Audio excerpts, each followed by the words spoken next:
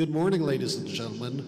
On behalf of AFCEA International and the U.S. Naval Institute, welcome back to San Diego for West 2022.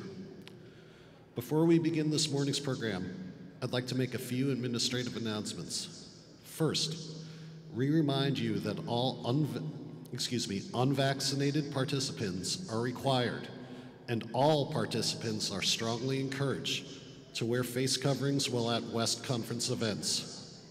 Thank you for protecting the health of your fellow attendees this week. Please refer to the Health and Safety Plan on the event website for the full list of requirements and recommendations.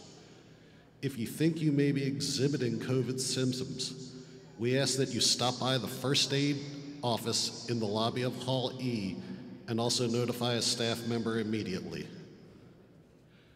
The U.S. Naval Institute and AFCEA are grateful to Hitachi Vantara Federal for their sponsorship of the upcoming keynote session.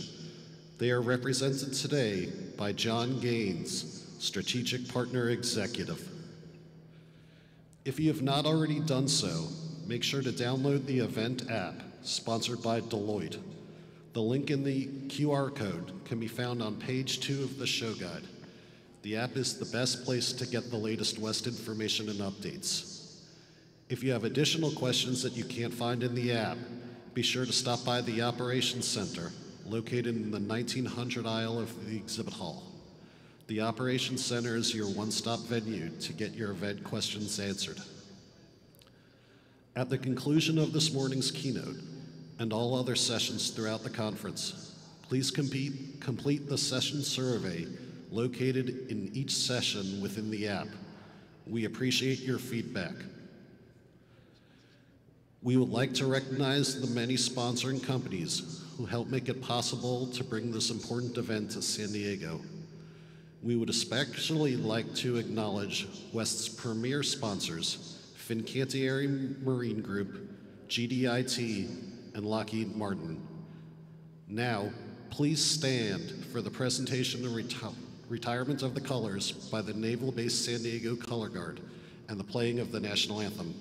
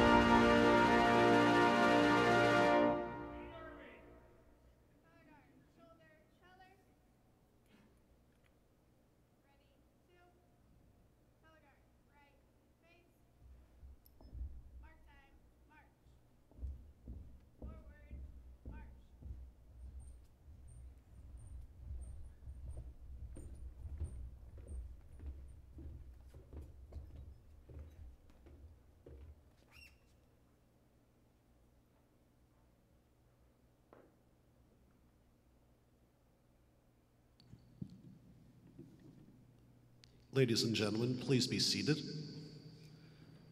At this time, please join me in welcome to the stage Vice Admiral Peter Daly, U.S. Navy retired, Chief Executive Officer and publisher of the U.S. Naval Institute.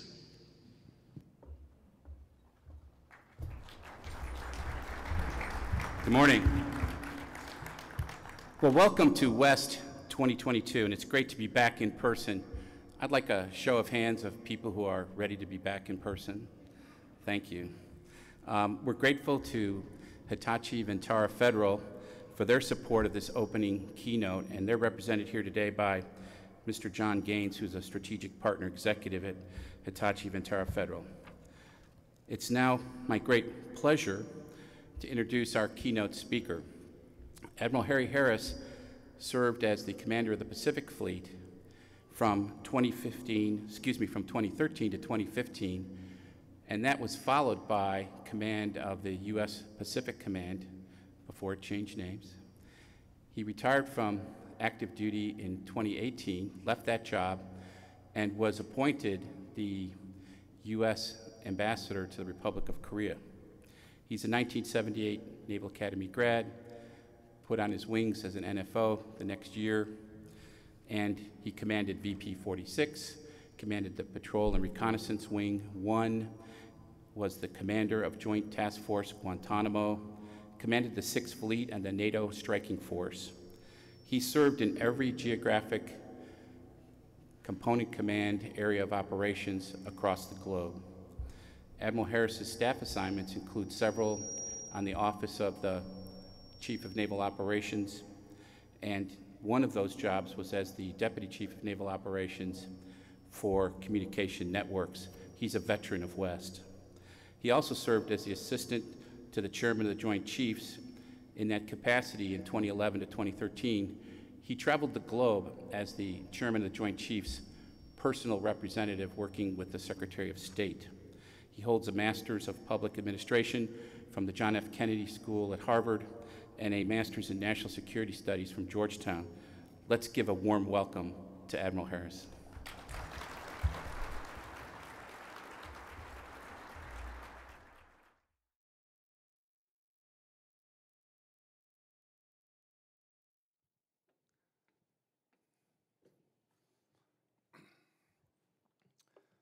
So let's give it up one more time for the sponsors, uh, which allow us all to get together here in San Diego.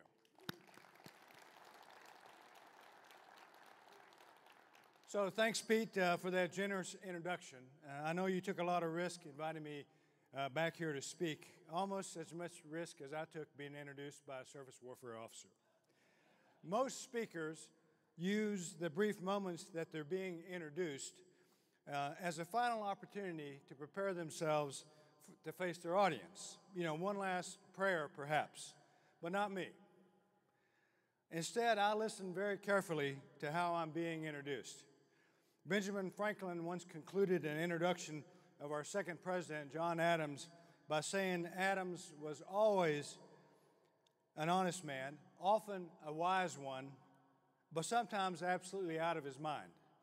So I'm always worried that if I don't pay attention, uh, I'll take the podium after an introduction uh, like Admiral Daly gave me, and the first words out of my mouth will be, Thanks, Pete, for that generous introduction. So as I look across this room, I can't help but think that there's more brain power packed into this one space than anywhere else in the world at any time, except perhaps that memorable moment in uh, Norfolk when Admiral Gortney ate lunch alone. So I'm supposed to I was going to recognize uh, Admirals Greenert, uh, Moran, Winnefeld, and Foggo, who were supposed to be here this morning until they heard that I was speaking. So let me instead acknowledge uh, Admiral Gortney, uh, and again, Admiral Daly, uh, and, uh, and we're very proud of all the work that you've done with the Institute, Pete. Also, General Shea, General Lawrence, and the AFCEA team, who's the co-sponsor of this event.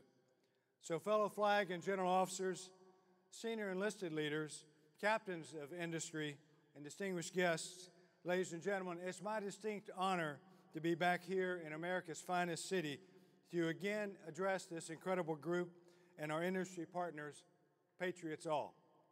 And a special shout out again to the Naval Institute and AFCEA. I'm a proud member of both for hosting this event and for challenging all of us to think about the vital nexus between emerging technology and military operations. Now, when I wore the uniform of our nation's Navy, I used to say the three great ships plied the seven seas scholarship, leadership, and relationship. It's the noble mission of the Naval Institute and AFCEA to encourage leadership and scholarship in its members and the greater national security community of interest. I would not have become a flag officer without the relationship that I had and have with the Naval Institute. And I would not have succeeded in my first three star job as the OPNAV N6, the Deputy CNO for Communication Networks, and I talk about a fish out of water, without the relationship that I had with AFCEA. In public speaking, we're taught never to lead with an apology, but I'm going to do so anyway. I'm sorry that I didn't bring any cool props with me today, like the Google Glass I wore when I addressed this conference in 2014, or the drones and robots I used for another AFCEA event in Hawaii. So this time, no wearable optical devices, no drones, no robots, just words. So let's use some of those words. Ladies and gentlemen, I want everyone here to close your eyes and visualize. Come on now. Close your eyes and visualize. Visualize someone taller than me, a man with broader shoulders than mine, upon which he carries the weight of the world, a man with the steely eyes of a combat tested infantryman with the nerves to match, a man who, when he speaks, he does so with gravitas and authority, and the world sits up and listens. Now, open your eyes. Nope, none of the above just me. We tried to get that guy to come to speak with you this morning, but pressing events precluded Secretary Austin from being here, so you got me instead. Story of my life.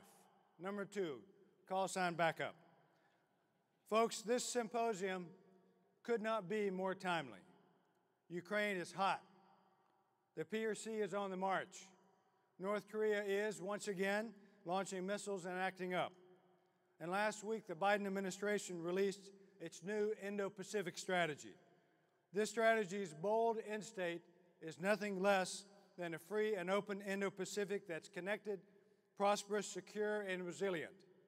Importantly, it recognizes that America's single greatest asymmetric strength is our network of security alliances and partnerships. Its key tenets include modernizing our bilateral treaty alliances with Australia, Japan, South Korea, the Philippines, and Thailand, advocating our major defense partnership with India, and building the defense capacity of partners in South and Southeast Asia and the Pacific Islands. This is juice worth the squeeze. There's no better way for me to begin this year of the Tiger than to share with you my thoughts on the importance of the Indo Pacific region through the twin lenses of my experiences in Hawaii and in South Korea. I'll give you a tour of horizon about the region in general against a backdrop of the U.S. South Korea alliance and amid the great challenges posed by the People's Republic of China. Now, as I've said on countless occasions in uniform and in mufti, relationships matter and alliances matter. They are the most integral element of U.S. foreign policy. In fact, President Biden has called alliances our greatest asset. It's a powerful statement that the first overseas trip by this administration was to the Indo Pacific region when the Secretary of State and Secretary of Defense visited Japan and South Korea last year. The Secretary has made clear in a joint op ed in the Washington Post that alliances are vital to our national security. They deliver for the American people. In my opinion, this guidance underscores that when working with allies, give and take is preferred to slash and burn. Now, case in point, the almost 69 year old U.S. South Korea alliance was forged during a devastating conflict. It has stood the test of time. It's mind boggling to consider how much has changed in the world in general, Northeast Asia in particular, and the Korean Peninsula especially since 1953. Some changes have been for the better, such as South Korea's miraculous growth into an economic and cultural powerhouse, a high tech innovation nation which is leading by example in the battle against COVID 19. As of today, Korea has experienced a little more than 1.4 million cases and a total tad a little over 7,000 deaths since the pandemic began two years ago. Meanwhile, after a promising September and October, trend lines went completely in the wrong direction in the US and Europe, fueled by the Omicron variant, especially for the unvaccinated. And only now is there finally some cause for optimism. Even so, we reached a truly awful milestone this month. 900,000 Americans have died of COVID. 900,000. That's more than the combined tally of American military killed in World War I, World War II, Korea, Vietnam, Afghanistan, and Iraq. Combined. Staggering. And we'll be over a million deaths by spring. Now, Korea's approach on COVID 19 has been lauded rightly so as a global model. They have one sixth the population of the United States and one 130th the number of COVID deaths. It's not that complicated.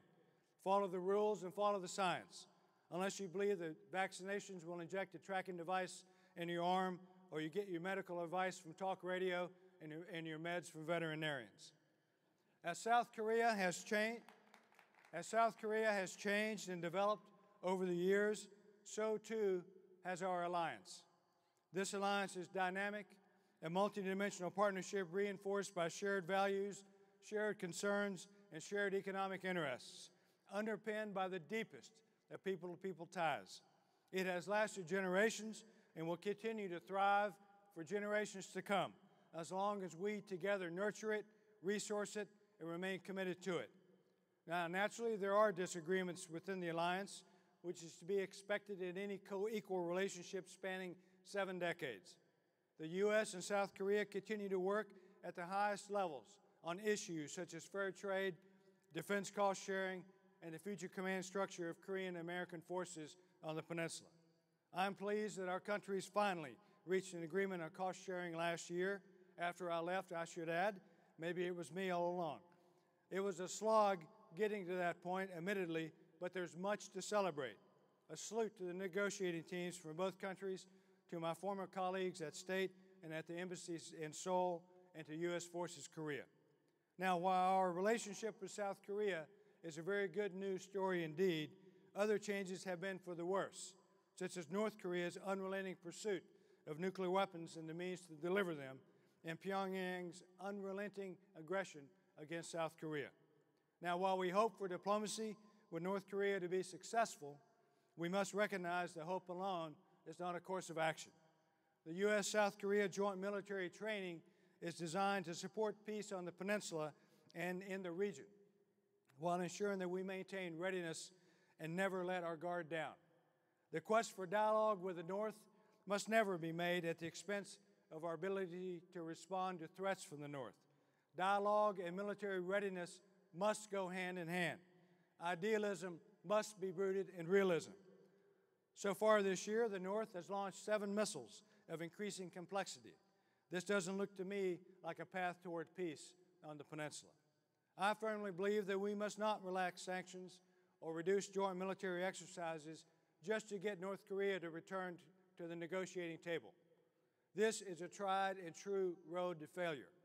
If exercises and sanctions are reduced as an outcome of negotiations, fine. That's why we have negotiations. But let's not give them away beforehand. And regarding the much discussed end of war declaration, we should ask ourselves what will change the day after such a declaration is signed. The armistice will still be extant. Our treaty obligations to defend South Korea will still be extant. And North Korea's missile, nuclear, and conventional capabilities will still be extant. Plus, North Korea shows little interest in such a declaration and every interest in ratcheting up provocations. It's unfortunate that North Korea has not yet embraced the opportunity presented by three U.S. and three South Korean presidential summits. The Biden administration has made it clear that the U.S. seeks negotiations with North Korea without preconditions. The U.S. continues to seek transformed relations between Washington and Pyongyang, lasting peace on the Korean Peninsula, and the complete denuclearization of North Korea, all of which were agreed upon in Singapore in 2018 and could set the conditions for a brighter future for the North Korean people.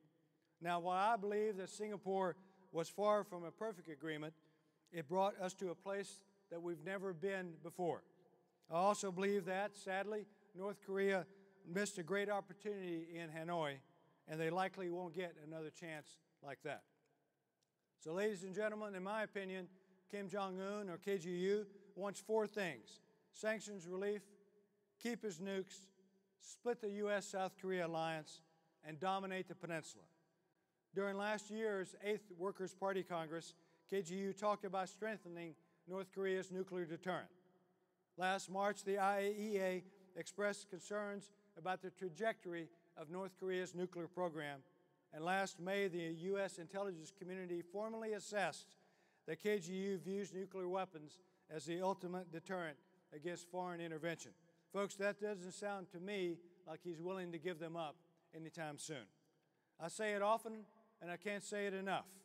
The U.S. is fully committed to the alliance and it stands firmly with South Korea. This is important because, as you all know well, North Korea and the PRC will continuously test the resolve of this relationship and will seek ways to weaken our strong ties and sow doubt in order to divide us. And now, a word or three about the People's Republic of China, or the PRC.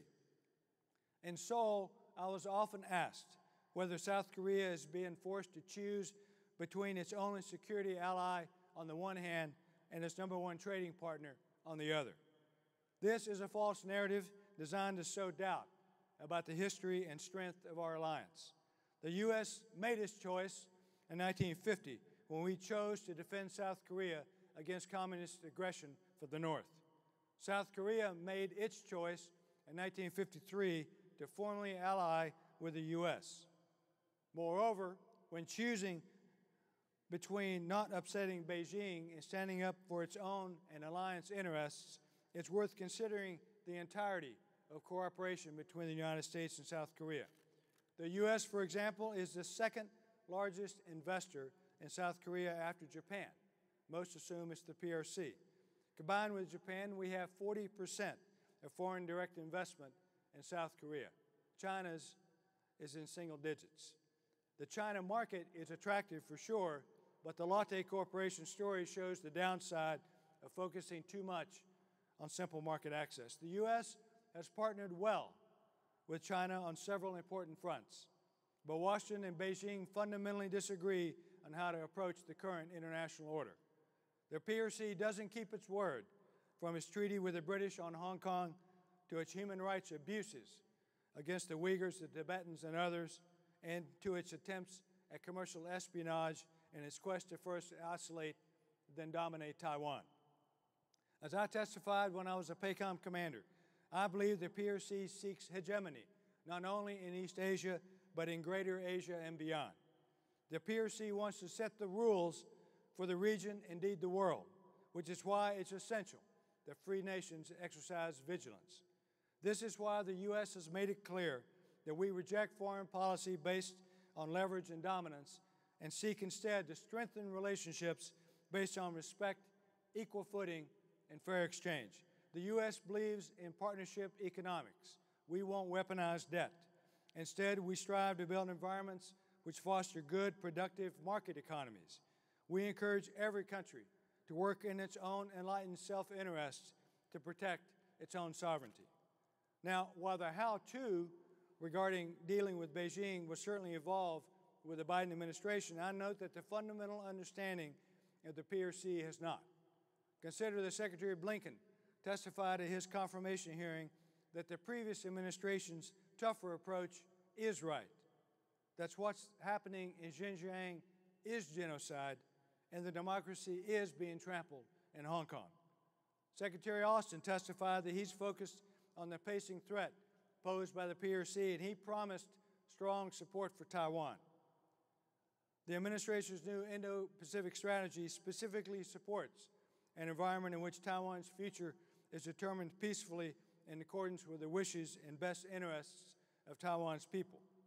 Taiwan is democratic, an economic and innovation powerhouse, a global force for good. I've called for ending the 50 year U.S. policy of strategic ambiguity in favor of strategic clarity, and I do so again today. My successor at Indo Pacific Command testified before Congress last year that the PRC could invade Taiwan in six years. That's 2027. That's inside the FYDP. We ignore Admiral Davidson's warning at our peril.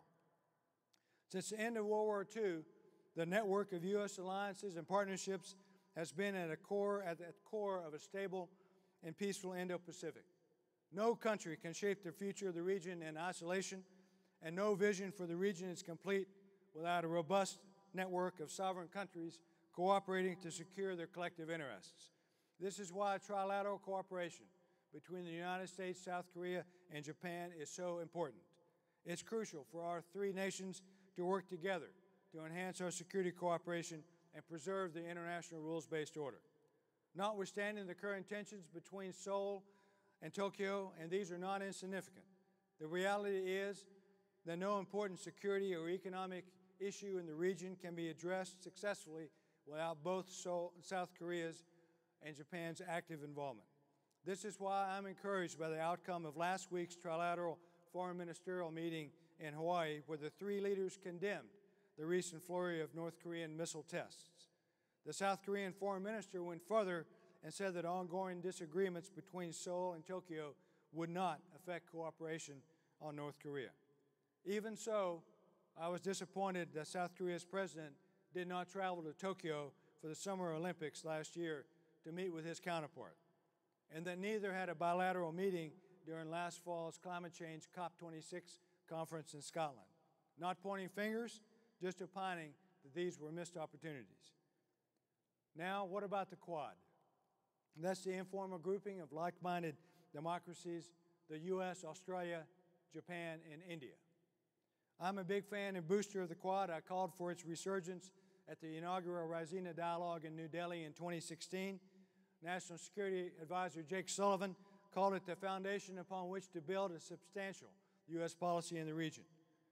No surprise, a strong, reliable Quad is an important component of the new Indo Pacific strategy.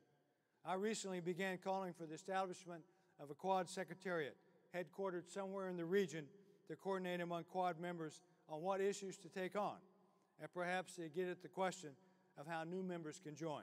You know, in college football, the Big Ten has 14 teams, and the Big 12 has 10 teams.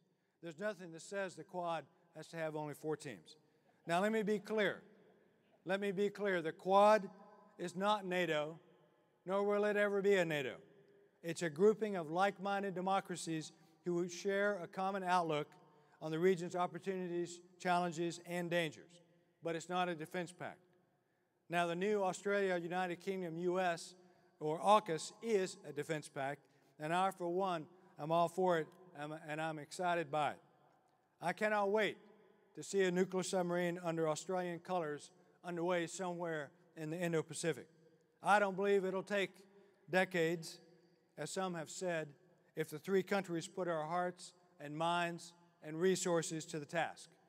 After all, we put a man on the moon in eight years and developed a COVID vaccine in less than one year. We can do this. So, ladies and gentlemen, I've talked too long. I'm reminded of that great baseball story where the home team is getting shellacked. The manager walks out of the dugout and directly to, goes directly to the mound and takes the ball from the pitcher. But, coach, I'm not tired, says the pitcher. Yes, son, I know, says the coach, but the outfielders sure are. So, for all you outfielders out there, let me close with the following observation America's strength depends on the synergy between those brave women and men who volunteer to wear the cloth of the nation to defend America wherever our freedom is in jeopardy, and our partners in business and industry who support them and provide them with the best tools to get the job done. Partners like each of you here today. I thank you for all for what you do every day to ensure that our military and our nation remain ready to fight and to win. May God bless the men and women of our armed forces. May God bless the great organizations like Naval Institute and AFCEA. And last but certainly not least, may God bless America. Thank you very much, and I look forward to your questions.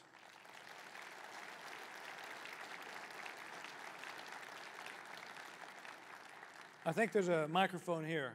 So, uh, but if you if you don't want to walk, if you don't want to walk that long walk, just stand up and ask real loudly.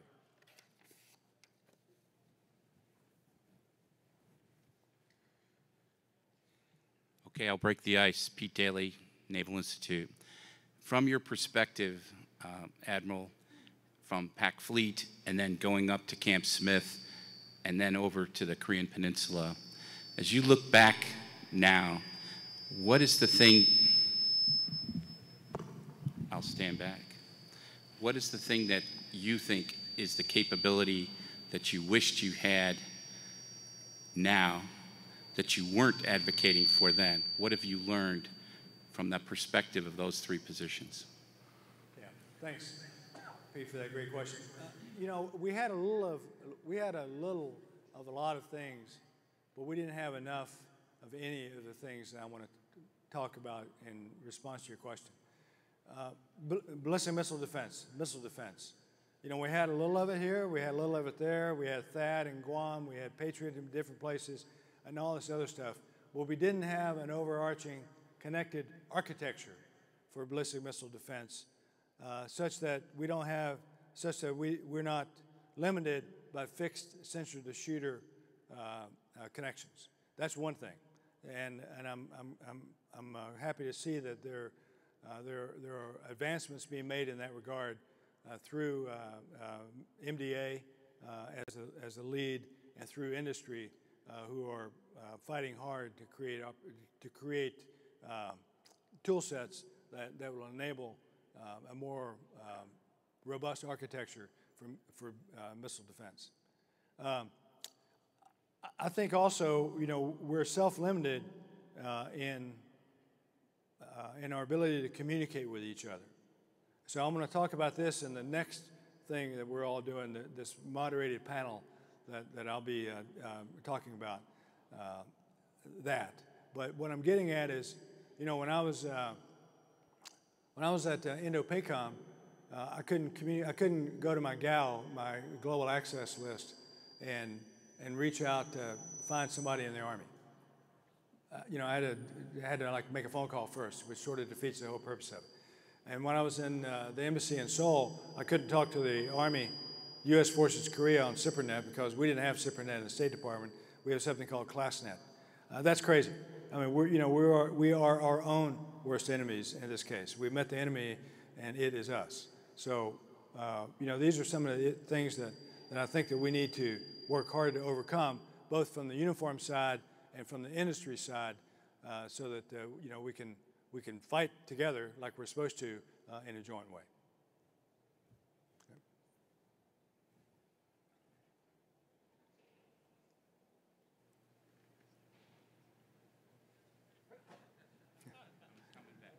Hey, I'm not going to troll for questions up here, folks. I'm, no. you know, I'm, I'm, happy to go have another, so, muffins. So. so we asked you to a West conference. You've talked about the Indo-Pacific, and we thank you. But could you offer your opinion on the current situation with Ukraine and Russia? Yeah, so I, I'm afraid to answer that question because it could change in about an hour, right? I mean, this is supposed to be the day. Uh, I do note that cyber attacks have already happened.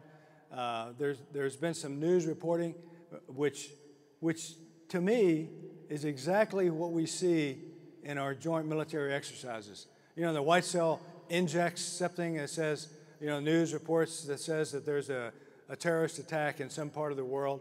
Well, shoot, that just happened yesterday, right? TASS reported that there's a terrorist attack in eastern Ukraine. Uh, you know, white cell injects, Pete and I were talking about this earlier, white cell injects uh, a note that says uh, Russian fighters have overflown U.S. positions in, in, some part of the world. That just happened. U, uh, uh Russian fighters overflew our uh, forces in Syria. So, I mean, give it an hour and this thing could change completely. But I do think it's important uh, to note that the United States can walk and chew gum at the same time. And diplomacy uh, is being uh, employed to its greatest extent. Don't know if it'll be successful. Time will tell uh, in that regard. Uh, I think that what we've done with Ukraine and upgunning them uh, through our assistance programs is terrific. I think we should have done that all along. I think we're about 10, 10 years too late on that, uh, but we're, we're doing a lot recently in the past year, and that's important. And the fact that I'm here instead of that big, tall guy uh, is another case in point that, that, that the right people are, are where they need to be uh, to try to get at that issue. I'm John Kohut from uh, Galt here in San Diego. Uh, it's always a pleasure uh, to hear you and insightful to hear you speak, so thank you for stepping in.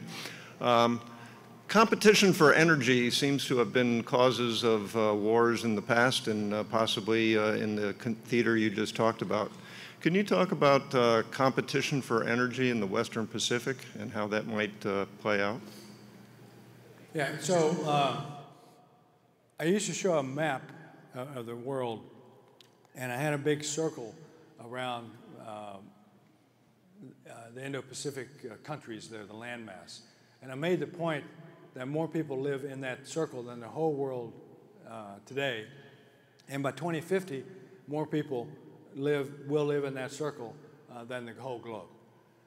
and so, um, and, and when you have that amount of people living in that relatively small area, uh, of the world, you're going to have those competitions uh, that are that we see play out today. Competition for energy, for food, uh, for for all kinds of things, and the threat posed by pandemics, which we're seeing play out today as well. So um, energy, vital, obviously. Uh, I think the new energy sources are important. Uh, you know, uh, through batteries and that kind of thing but we're going to see other related shortages, uh, shortages of uh, lithium um, and other rare earths. Uh, I don't think there's enough uh, uh, wind power or, uh, or solar power to power the energy demands of the world. I'm a proponent of nuclear power. I think it's clean, and, and we ought to return to that in the United States as well. but I think that you are right when you suggest that the competition for energy uh, is, is, likely to fuel the next conflict. Certainly in, in the Indo-Pacific, we see that competition play out in the South China Sea uh, and, and all of the competing claims there and the uh, moves afoot by the PRC to retain that. It's crazy claims that the entire South China Sea uh, is part of the, the PRC.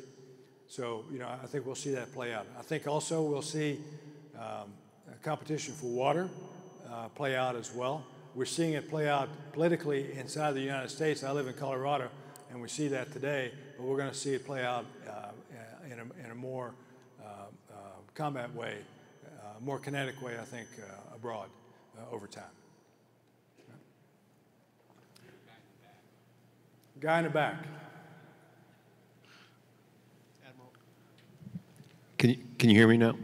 Admiral, in your address, you mentioned strategic clarity for, for Taiwan, and I was wondering if that could include or should include the United States normalizing or reestablishing its relations with Taiwan. If so, what do you think the impacts of such a recognition would be?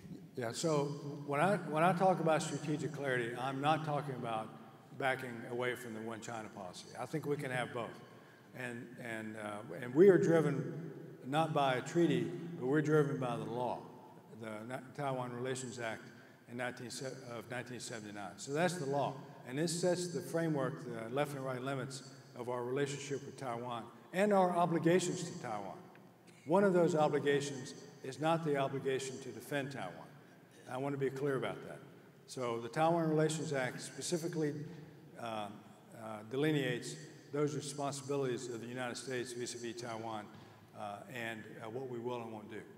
I do think, but now I want to shift to strategic ambiguity and strategic clarity. So strategic ambiguity is a policy where, where, whereby we as a nation are ambiguous on whether we would defend Taiwan, not whether we're obligated to defend Taiwan, but whether we would defend Taiwan if the PRC forcibly uh, tried to bring Taiwan back uh, into its fold. The Taiwan Relations Act says we would support a peaceful reconciliation across the uh, Taiwan Strait. Uh, you know, if, if Taiwan wants to become part of the PRC or not. If it was done peacefully, we'd be all for that, and that's the law, uh, and that's, uh, that's our obligation. Strategic ambiguity is a policy that has served us well for 50 years. And by that, I mean that uh, we have not said what we would do. So we have kept the PRC guessing, and on the other hand, we've kept Taiwan guessing, so they won't declare independence. But I think the time for strategic ambiguity is over. I think in 2021, 2022, where we are today, I think it's important that we be clear to the PRC what we would do if they were to attack Taiwan to forcibly reintegrate them uh, into Greater China. I think it's an obligation that we have to the Taiwanese, the Taiwan people, so they would understand what we would do if the PRC were to attack them. And most importantly, I think it's important that the American people understand what we would do if the PRC attacks Taiwan. Now, I say this in an academic way because I'm not suggesting that we end strategic ambiguity by saying we would defend Taiwan. You know, maybe the decision is that we won't defend Taiwan. But I'm saying that we, we owe it to the PRC, to the Taiwanese, and most importantly to the American people that we be clear on what we would do. So in 2022, we ought to be clear on, uh, as to what we would do. Now, on a personal level, I have my own opinion of, of, what we should do if Taiwan is invaded by the PRC. As I said in my remarks, Taiwan is a, a, a global force for good. It's an innovation nation. It's an economic powerhouse, uh, and it's a great country. You know, I, I, used to talk if you had a if you had a, um, uh, a handful of clay and you were going to mold a country, you were going to build a country. You know, what would those attributes be if, if we were going to do it? Well, I think we'd want a country that's democratic. We want a country that likes the United States. We want a country that's economically strong, and we want a country that's a global force for good. And guess what? We have one of those, and it's called Taiwan. Good morning, Admiral. My name is Brian McGrath. Uh, regarding the United States Indo Pacific strategy released last week, uh, it appears a little light on hard power, and to the extent that hard power is discussed, it is capacity of friends and allies. When it comes to our own forces, it is concepts of operations, posture, and the like. No discussion of capacity. Could you comment on that? Yeah, I, I think that the objective of the Indo Pacific strategy is not to talk about the strength of the U U.S. military and our capacity. Uh, it's, to, it's to talk about how we value alliances, partnerships, and relationships. You know, those things I talked about in my remarks. I think there are other documents that will get at the specific issue that you talked about, the description of American power, hard power, uh, and, and, our military capacity. The National Military Strategy is one of those. It has not come out. National Security Strategy is one of those. It has not come out. The Indo-Pacific Strategy is focused on how we are going to deal with the threats, opportunities, and challenges uh, in that region.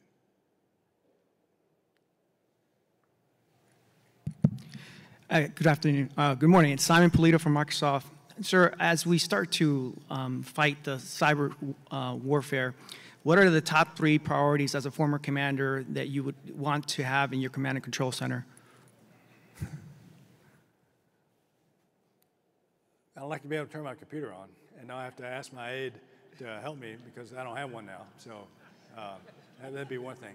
I, I think realistically, uh, you know, um, I wouldn't say the top three things. I'll, I would say the top one thing, which is an effective, a truly effective uh, cyber COP, you know, common operating picture.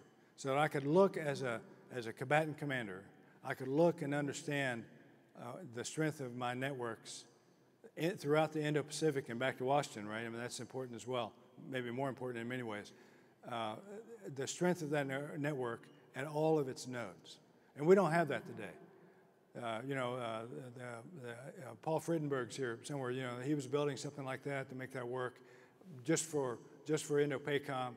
Uh, you know, but if you're sitting back in Washington, you know, who's good, who's looking at the whole network and not just the Navy's network or not just the Army's network or the Marines network or the Air Force's network, Space Force's network, but the global network. You know, who's looking at this holistically and can depict it away in a way that, that non-technical folks like me can understand it and then make those decisions uh, that would ensue from that. So I think that's the most important thing that I lacked uh, and I wished I had uh, then.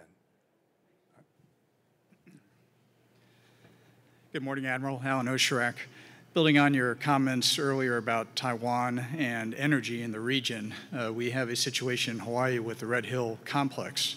It's often been said that the Achilles heel of our warfighting capabilities in the Pacific is refueling. The Marine Corps has their new strategy under General Berger to essentially have an island hopping campaign. How would you envision refueling our Navy, Marines, and Air Forces operating in support of Taiwan or near China. We have a, a, strategic gap, if you will, in between our ability to refuel, let's say in the Philippines or in Singapore or far north in Korea.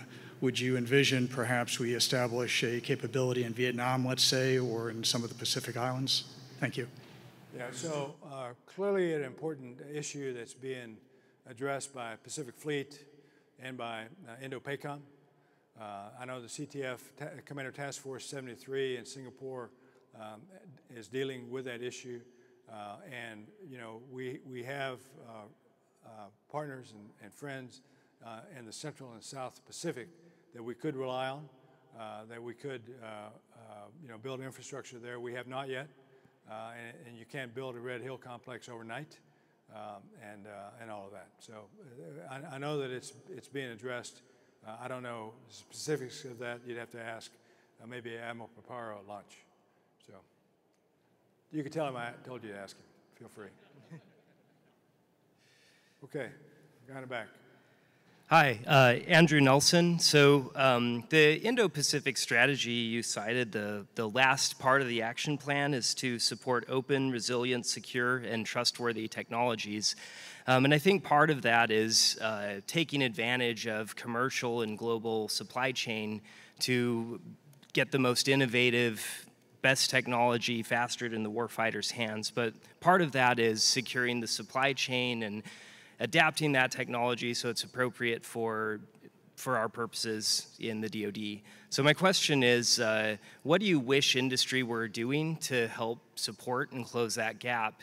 And what do you think about the kind of that that balance? I guess. Yeah, I think the industry is doing what industry needs to do. So I'm not, uh, um, I'm not seeing a deficiency in industry's uh, ability to create uh, and to, to deliver possible solutions to this issue of trusted networks writ large.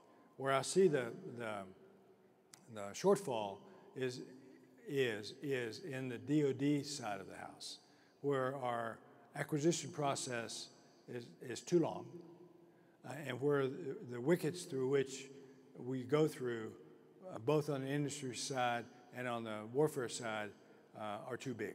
So we need to work on the acquisition side, I think, uh, on the DO, within the DoD, within the government, uh, and and not uh, worry too much about industry, uh, who is not hamstrung by self-imposed limitations.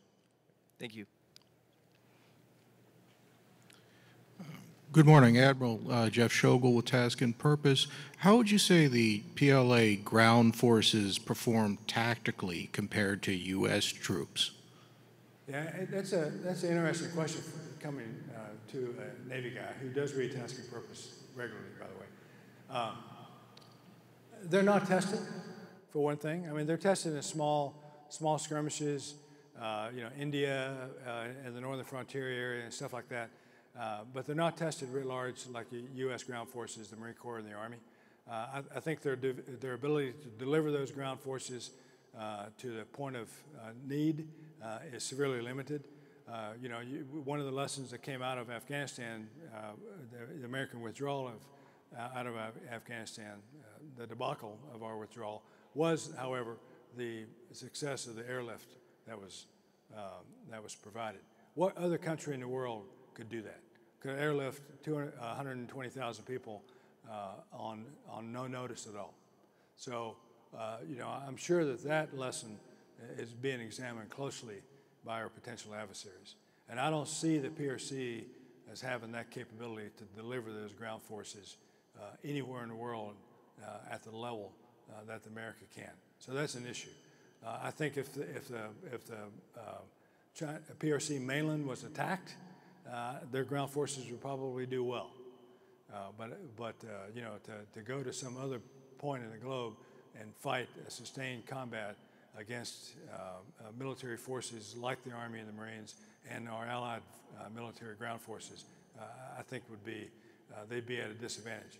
The other thing is, you know, our, our Army and, and Marine ground forces are not going to fight uh, uh, by themselves. They're going to be enabled by the joint force. Uh, they'll be part of a joint force. And I don't see that, that joint architecture robustly in, ex, in, in existence uh, in the PRC military. So, thanks. Ladies and gentlemen, we have time for one final question. Got a bit of a hot mic here, Admiral. Uh, thanks for your time. I'm Jeff Ziezulewicz with Navy Times. Uh, you know, turning to the fluid situation with Ukraine, you know, there's some critics out there that say, uh, you know, we're seeing kind of a, a retrenchment of, uh, you know, American presence globally, um, you know, from, from Afghanistan to, um, you know, a lack of more of a, a presence in Ukraine. If, if Russia does invade Ukraine, do you think that sends a message to the PRC one way or the other about what we would do, you know, should Taiwan be invaded? Yeah, I, I think the more important question, I, let me answer the question that I, that I thought you were going to ask me and, and, ignore the question that you did ask me. the, the, the question isn't what China will, what the PRC will do if Russia invades Ukraine. The question is, what will the PRC do if the U.S. does nothing if Russia invades Ukraine? In other words, it's, it's how we respond as a country to Russia's invasion of Ukraine will determine, in some measure, figure into some calculus uh, of the PRC and uh, its decision on Taiwan. Right? Does that embolden Beijing, oh, Well, I mean, it, it, depends on what we do, right? If, if, if Russia invades Ukraine, what, does, what will the United States do? Well, we won't know. Again, give it a, give it a couple hours and we might know. But we, we don't know. But depending on what we do, that could or could not embolden the PRC's future actions against Taiwan. So we, it depends on what we do. We, we remain at the center of the equation of the PRC's decision calculus on Taiwan. It's not the Russian action in, in, uh, in isolation. It's what America does regarding that action that will influence what the PRC does regarding its actions. Okay? All right. Thank you. Admiral, thank you very much. Don't go away until we give you a small token of our appreciation. We have the Sailor's Bookshelf written by this guy, uh, Jim Stavridis. It's a Naval Institute press book with an AFCEA bookmark, and on behalf of AFCEA International and the Naval Institute, we truly appreciate the time you took to come here today and kick off our conference. And we also thank uh, Hitachi Vantara Federal for sponsoring. Thank you very much. Let's give Admiral Harris one more hand.